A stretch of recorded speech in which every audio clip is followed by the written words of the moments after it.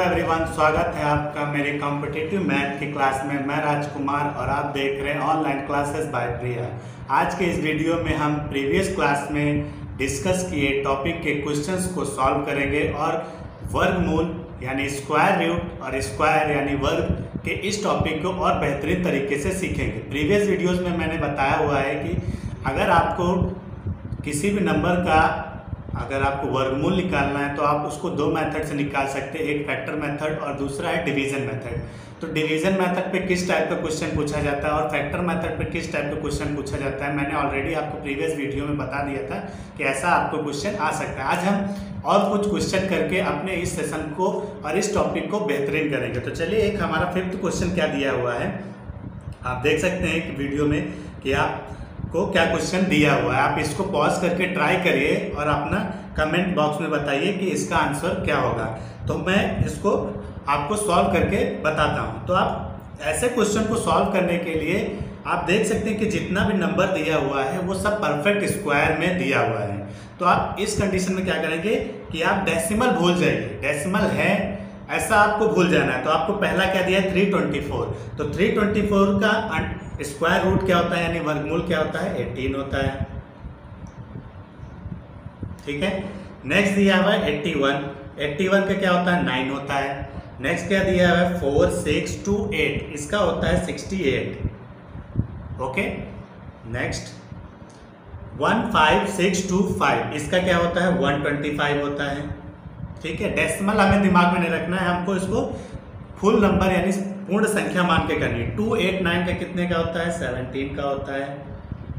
Okay? Next हमारा क्या है? सेवन टू नाइन, ये ट्वेंटी सेवन का होता है। नेक्स्ट सिक्सटी फोर इस कितना होता है? एट का होता है। ठीक है? अब इसे हम सॉल्व करेंगे तो नाइन थ्री जा जाएगा ये। ये सेवनटीन फोर जाएगा। ओके? ये हमारा क्या होगा? टू टाइम्स जाएगा। ये हमारा क्या होगा? नाइन टाइम्स जाएगा। यह हमारा थ्री टाइम्स जाएगा। तो हमारे पास क्या बचा? Three divided by one twenty four और जब आप इसको सॉल्व करेंगे तो ये zero point zero two four आएगा। ओके यानी हमारा answer C is correct answer है। आप थ्री को 125 से जब डिवाइड करेंगे तो 0.024 आएगा।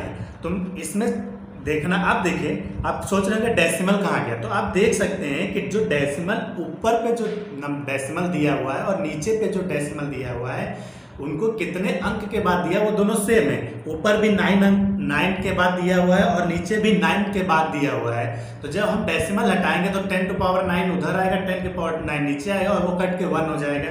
तो जब हमारे डेसिमल जो नंबर्स दिए हुए हैं, यानी डेसिमल के बाद कितने अंक हैं, अगर दोनों में सेम रहते हैं तो उस कंडीशन में हमें उस चीज़ को ध्यान नहीं देना है। चलिए नेक्स्ट देखते हैं। 0.1 का होल स्क्वायर तो आप क्वेश्चन देख ही रहे मुझे पढ़ने की ज़रूरत नहीं ताकि आपका टाइम वेस्ट ना हो। तो ऐसे क्वेश्चन का जो आंसर है, देखिए, इसका भी 10 आएगा। तो ऐसे कंडीशन में क्या होगा? आप देख सकते हैं, यहाँ पे वन दिया हुआ है, और नीचे में टेन टू दिया हुआ है। ठीक है, इसको थोड़ा मैं बड़ा कर लेता हूँ। तो आपको ज़्यादा अच्छे से समझ में आएगा ठीक है यहाँ पे डेसिमल वन के बाद दिया हुआ है। यहाँ पे डेसिमल वन के बाद दिया हुआ है, यहाँ पे डेसिमल टू के बाद दिया हुआ है। यहाँ डेसिमल टू के बाद दिया, वहाँ थ्री के बाद, यहाँ थ्री के बाद, यहाँ फोर के बाद, यहाँ वन यहाँ टू तो आप देख रहे हैं डिफरेंस क्या है वन का। तो जब डिफरेंस वन का डेसिमल में है तो इसका आंसर टेन आएगा। अगर डिफरेंस टू का होता तो आंसर हंड्रेड आता।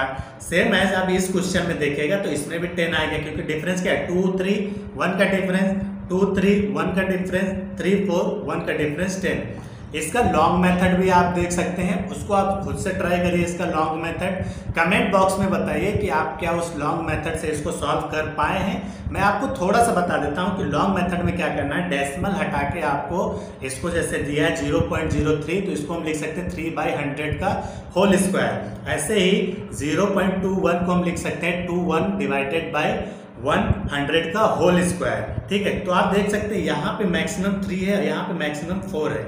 ठीक है? तो इसको साइड कर लेते हैं, ठीक है? मैक्सिमम थ्री है।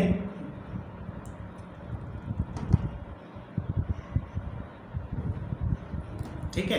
तो आप देख सकते हैं कि यहाँ पे जब थ्री है तो इसको जब हम थ्री को स्क्वायर करते हैं, यानी टेन के पावर थ्री को हम जब स्क्वायर करेंगे तो टेन के पावर सिक्स हो जाएगा।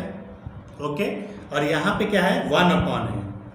और यहाँ पे नीचे वाले में क्या आएगा? वन अपॉन टेन की पावर एट क्योंकि मैक्सिमम पावर मैक्सिमम डेसिमल के बाद कितना है? फोर के बाद है। ये पलट के क्या हो जाएगा? टेन की power eight divided by ten की पावर सिक्स यहाँ से क्या आएगा? ये टेन का स्क्वायर आएगा। और ये किसमें है? रूट में। तो ये हमारा टेन आ जाएगा। तो इसका भी आंसर टेन आ जाएगा आपको। ठीक है?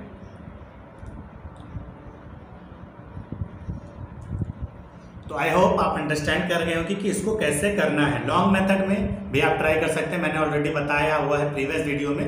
वो वीडियो आप जाके देखिए, तब आके यहाँ पे आप क्वेश्चन और अच्छे से सॉल्व करते हैं।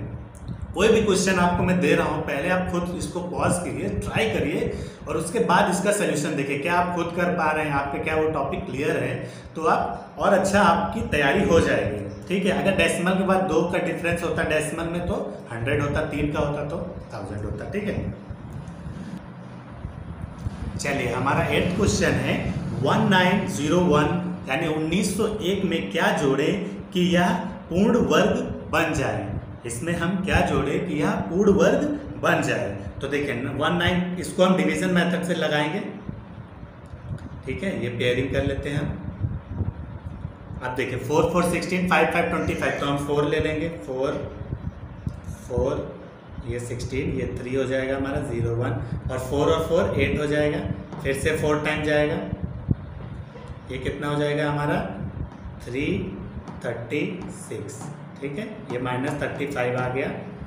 इसका मतलब है कि वन नाइन ज़ीरो वन में अगर हम थर्टी फाइव ऐड कर दे तो ये हो जाएगा थर्टी सिक्स और ये हमारा पूर्ण वर्ग बन जाएगा। ओके आई होप आपको ये समझ में आ गया होगा कि जब हमें जोड़ निकालना होगा तो हमेशा हम ज़्यादा निकालेंगे, ठीक है, कि क्या जोड़ने पे हमें माने वर्ग मिलेगा तो हम हमेशा ये नंबर ज़्यादा लेके आएँगे। और जब घटाने की बात आएगी तो ये नंबर हम कम लेकर आएँगे। नेक्स्ट क्वेश्चन में हम इसको देख सकते हैं। चलिए नेक्स्ट देख लेते हैं।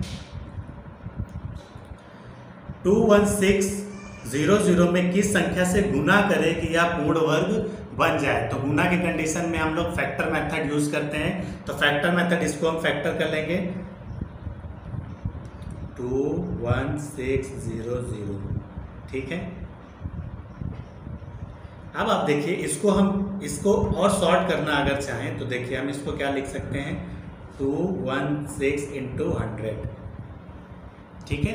तो अभी हम टू वन सिक्स का ही फैक्टर करेंगे। तो टू वन सिक्स का जब हम फैक्टर करेंगे तो क्या आएगा हमारा? One zero eight fifty four twenty seven nine three one आप देख सकते हैं कि टू का पेयर यहाँ पे बन गया, यहाँ पे थ्री का बन गया, और ये टू और ये थ्री बच गया। तो यानी हमको इसे टू एक टू दे देना है और एक थ्री देना है, यानी टू इंटू थ्री सिक्स यानी अगर हम इससे सिक्स से मल्टीप्लाई करें तो यह पूर्ण वर्ग बन जाएगी। टू वन सिक्स को ज़ीरो ज़ीरो को अगर हम सिक्स से मल्टीप्लाई करें तो यह पूर्ण वर्ग बन जाएगी। आई होप इसको आप समझ गए होंगे। चलिए नेक्स्ट देखते हैं। सिक्स वन फाइव फाइव में क्या घटाया जाए कि यह पूर्ण वर्ग बन जाए? चलिए इसको भी हम डिवीज़न मेथड से सॉल्व करेंगे। सिक्स वन फाइव फाइव में क्या घटाएँ कि यह पूर्ण वर्ग बन जाए? ठीक है पेयरिंग कर लेते हैं। ठीक है तो ये हमारा seven seven forty nine eight eight sixty four तो सेवन टाइम ही जाएगा। सेवन ये फोर्टी नाइन हो जाएगा। यहाँ पे ट्वेल्व हो जाएगा हमारा। ये फोर्टीन हो जाएगा। ये फाइव और ये फाइव अब हमें यहाँ पे ऐसे नंबर से मल्टीप्लाई करना है कि ट्वेल्व फिफ्टी फाइव से ज़्यादा ना होने पाए, कम ही रहे। तो इसको हम पहले सेवन से ट्राई कर लेते हैं। ठीक है? सात सत्ते उनचास, हासिल चार, सात चौक अट्ठाईस, चार बत्तीस, हासिल तीन, सात इक्यानवे सात तीन दस। तो आप इसको देख सकते हैं, ये हमारा क्या हो जाएगा? पंद्रह, ये छः हो जाएगा, ये दो हो जाएगा, ये एक हो जाएगा। ठीक है? ये दो हो जाएगा यहाँ पे। तो आप देख सकते हैं टू ट्वेंटी सिक्स आया यानी कितने टाइम्स जाएगा? ये एट टाइम्स जाएगा। चलिए हम एट टाइम्स इसको कर लेते हैं। ठीक है? यहाँ पे एट लिख लेते हैं, यहाँ पे एट लिख लेते हैं। एट एट सिक्सटी फोर हो जाएगा। हमारे हासिल छः आएगा। आठ चौक बत्तीस, अड़तीस हो जाएगा। हासिल तीन हो जाएगा, आठ एक इक्यानवे आठ तीन ग्यारह। ये हमारा क्या हो जाएगा? वन हो जाएगा, पंद्रह में से आठ गए तो ये सात हो जाएगा, यानी इकहत्तर। यानी सिक्स वन फाइव फाइव में अगर हम सेवेंटी वन सब्ट्रैक्ट कर दें तो वह पूर्ण वर्ग बन जाएगा। यानी इकसठ इकसठ सौ पचपन में अगर हम इकहत्तर से, इकहत्तर सब्ट्रैक्ट कर दें तो वह पूर्ण वर्ग बन जाएगा। तो ऐसे क्वेश्चन आप आसानी से कर सकते हैं। अगर आपका कॉन्सेप्ट क्लियर होगा फैक्टर मेथड डिवीज़न मेथड का तो आप ऐसा क्वेश्चन बहुत ही आसानी से कर सकते हैं। चलिए नेक्स्ट क्या हुआ है? The value of under root ten under root twenty five under root one zero eight one five two two five तो ऐसे क्वेश्चन करने के लिए मेरी एक एक ट्रिक मैंने सोची है कि आपको इस नंबर पर फोकस करना है। आप देख सकते हैं ये टेन है। तो टेन के नियरेस्ट स्क्वायर क्या हो सकता है? तो टेन के नियरेस्ट स्क्वायर या तो नाइन हो सकता है और या तो सिक्सटीन होता है, हो सकता है, ठीक है? ये तो नाइन किस कंडीशन में होगा? अगर यहाँ पे माइनस होता तो नाइन होने के चांसेस रहते। और यहाँ पे प्लस है तो ये सिक्सटीन होने के चांसेस बहुत ज़्यादा है। तो जब हम सिक्सटीन का अंडर रूट निकालते हैं तो ये फोर आता है। तो इसका आंसर क्या होगा? फोर होगा। ठीक है? तो आप ऐसे भी कर सकते हैं। ऐसे भी आपको इस क्वेश्चन का जवाब आसानी से मिल सकता है ट्रिक के मेथड से मिल सकता है कि आप ऐसे क्वेश्चन को कैसे सॉल्व करें। तो पहले नंबर को आप फोकस कर लीजिए तो आप यहाँ पे देखेंगे टेन दिया हुआ है। तो अगर टेन के आसपास स्क्वायर क्या हो सकता है? नाइन हो सकता है सिक्सटीन हो सकता है, ठीक है? तो नाइन किस कंडीशन नाइन तो होगा नहीं, क्योंकि टेन यहाँ पे ऑलरेडी पॉजिटिव है। तो ऐड ही होगा तो यानी सिक्सटीन होने के चांसेस ज़्यादा हैं। तो इनका जब सम 16 आएगा तो उसका जब स्क्वायर रूट निकालेंगे तो ये फोर आएगा। ये मैंने मैक्सिमम क्वेश्चन में ये मैंने ट्रिक यूज़ की है और मैक्सिमम क्वेश्चन में मैंने देखा है कि इस कंडीशन में ज़्यादातर यही ट्रिक फॉलो होती है आराम से इससे आंसर निकल आता है। अगर आपको और लग रहा है कि नहीं ये नहीं हो सकता है तो आप इस नंबर पर भी फोकस कर सकते हैं। आप सक, देख सकते हैं कि 25 है ठीक है? तो ये मैक्सिमम किसके पास जा सकता है? ये फाइव के पास जा सकता है। ठीक है? ये फाइव का दिया हुआ है तो या तो सिक्स होगा। और अगर ये सिक्स का होगा तो सिक्स और टेन ऐड होकर सिक्सटीन हो जाएगा, उसका रूट चार हो सकता है। तो आप दो नंबर तक भी अगर आप इस क्वेश्चन को देखेंगे तो डेफिनेटली आपको इसका आंसर विद इन सेकेंड मिल जाएगा। आप पूरा करने की आवश्यकता आपको नहीं पड़ेगी। तो आई होप आपको स्क्वायर और स्क्वायर रूट के क्वेश्चन को अच्छे से सॉल्व करना आ गया होगा। और मैंने बहुत ही आसान तरीके से ये सब क्वेश्चन बताए हैं। आप सिंपल है, आप प्रीवियस वीडियो भी ज़रूर देखें और ये पार्ट टू है। इसको भी देखिए, अगर आपने प्रीवियस वीडियो नहीं देखा है तो उसको ज़रूर से ज़रूर देखिए तभी आप इस पार्ट टू को समझ पाएँगे। तो अगर आपको ये वीडियो पसंद आया है तो इसको लाइक करें शेयर करें और ज़्यादा से ज़्यादा लोगों को शेयर करें और ताकि, और ज़्यादा से ज़्यादा लोगों तक इस वीडियो को पहुँचाएँ, ताकि वो बहुत, वो अपने स्टडीज़ में इसको यूज़ कर सके और बेहतर परफॉर्म कर सके अपने एग्ज़ाम में। और अगर आप चैनल पर नए आए तो इसको सब्सक्राइब करें और बेल आइकन ज़रूर दबाएँ ताकि आपको लेटेस्ट वीडियोस की नोटिफिकेशन मिल जाए। मिलते हैं नेक्स्ट वीडियो में फिर से एक धमाकेदार वीडियो के साथ। तब तक के लिए धन्यवाद।